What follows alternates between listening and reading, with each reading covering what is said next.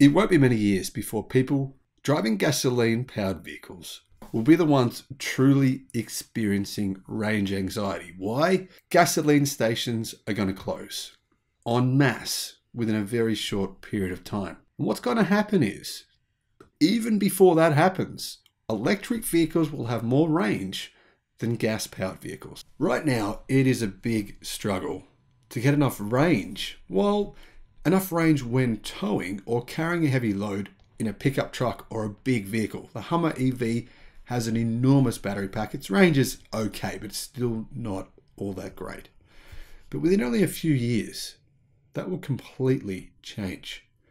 In fact, pickup truck range is set to increase enormously, making gasoline powered pickup trucks and gasoline powered large vehicles obsolete faster than anyone actually realizes. Zeekr just pointed out something that no one else is really talking about, but we should be.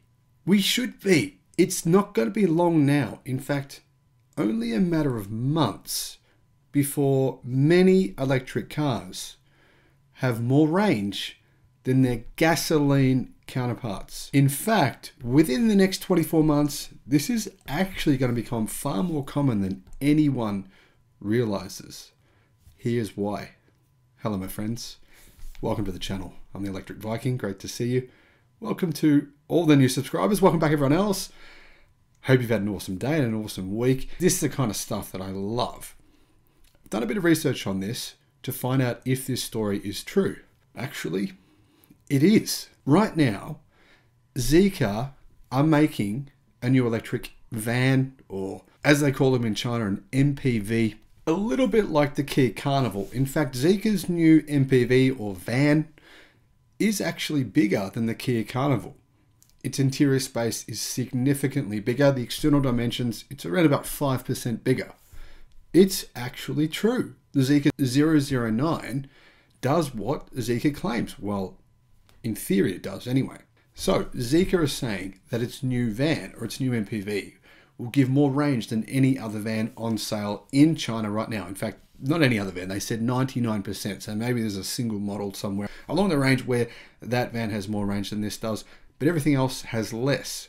Now, I want to point out for you guys in China, diesel is not a very popular fuel source, and right now, diesel is massively losing market share around the world because it's now being taxed at a higher rate. It's a much bigger pollutant. Obviously, we now know it causes cancer. And the reality is that the cost of diesel fuel right now, in fact, in almost all countries around the world, has substantially increased over the past 12 months to the point where it's sort of economically unviable for a lot of people now. Anyway, whether you agree with that or not doesn't really matter. The key point is here that the new Zeekr 009 does have more range than almost basically every other MPV and van in China. The new version will have 822 kilometers of range, which is massive. I mean, even if you say, well, it's a CLTC figure, you're still going to get close to 700 kilometers of range. The thing is, right, this is a big vehicle. It's shaped like a brick. So it's not really efficient aerodynamically, but but new battery packs and new battery technology, they are the reason, the key reason why not long from now, electric cars will very commonly have significantly more range than gasoline powered cars. Why do I say this?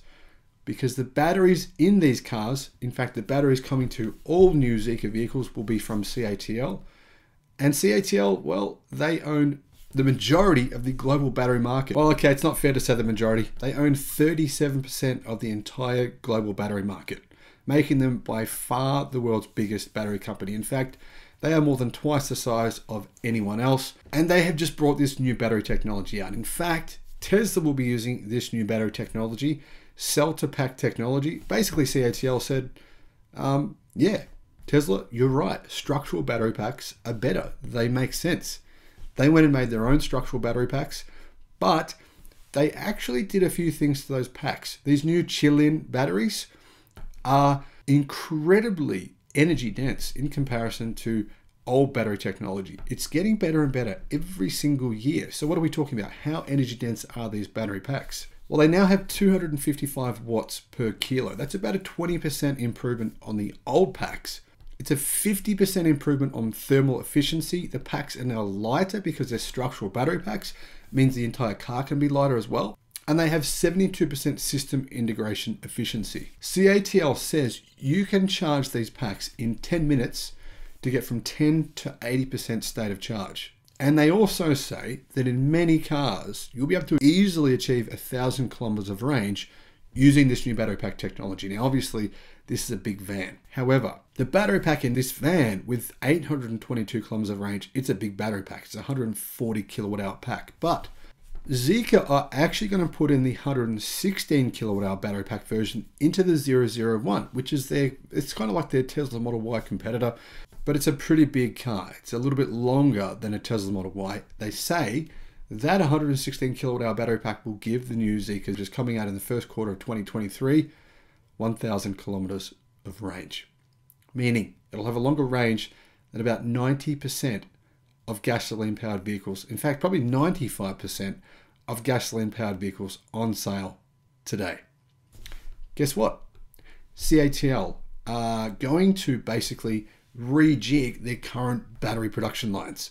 Instead of using the old technology, most of CATL's battery production will be the new battery technology. Now, they do have two different types of batteries. They've got the lithium ternary batteries, which are the ones we're talking about here. They've also got M3P batteries, which are essentially their cell to pack technology, structural battery packs using lithium iron phosphate battery cells. Now, those cells also have increased in their energy density by close to 20%. Pack efficiency has massively increased, pack weights have gone down.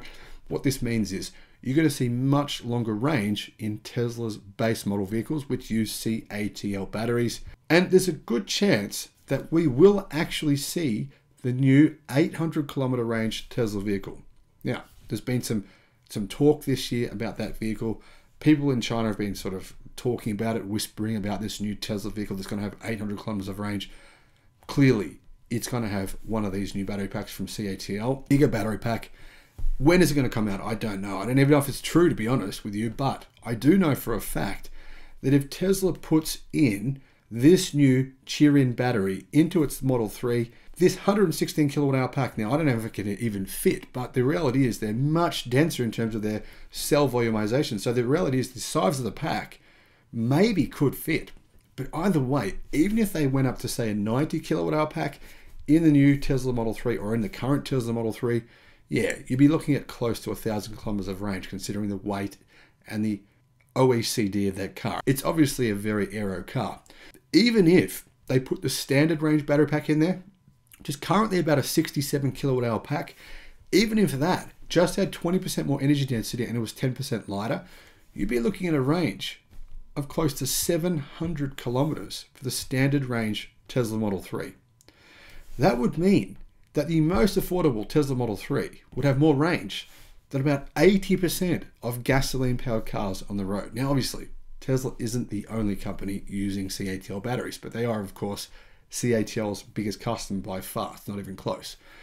And CATL did just build the factory about three kilometers from Tesla's Gigafactory in Shanghai, specifically for Tesla, which will produce 70 gigawatt hours of batteries per year. That's that's literally hundreds and hundreds of thousands of cars of batteries per year. That said, many other manufacturers like Zeekr use CATL battery packs as well. So these benefits, they won't be exclusive to Tesla. Now we do know that Zeekr and Tesla will be capable of using CATL's structural battery packs in their cars. So that'll provide another benefit. Why? That'll reduce the weight of the vehicles at the same time as improving the energy density. My friends, within the next couple of years, it will be extremely common that electric vehicles will have significantly more range than gasoline powered ones. At the same time, countries and businesses all over the world are installing fast chargers rapidly. They're being built en masse all over the world. So, what's going to happen is range anxiety will be completely eliminated because more chargers, much more range from higher energy density batteries and lighter cars. Basically, gasoline powered cars are going to look more and more obsolete, more and more old, more and more like the dinosaur technology that they actually are. What's going to happen? Pickup trucks within the next few years will have significantly more range than gasoline powered pickup trucks. I'm going to go out on a limb here. I'm going to predict gasoline powered pickup trucks will be dead by 2030. So, this whole idea that Ford thinks it's going to keep on selling pickup trucks en masse after 2030 that are powered by gas, that isn't going to happen.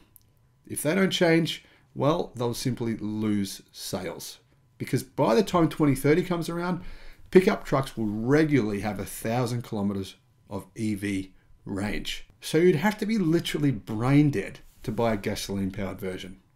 Let me know your thoughts in the comment section below. Thanks for watching. Bye bye.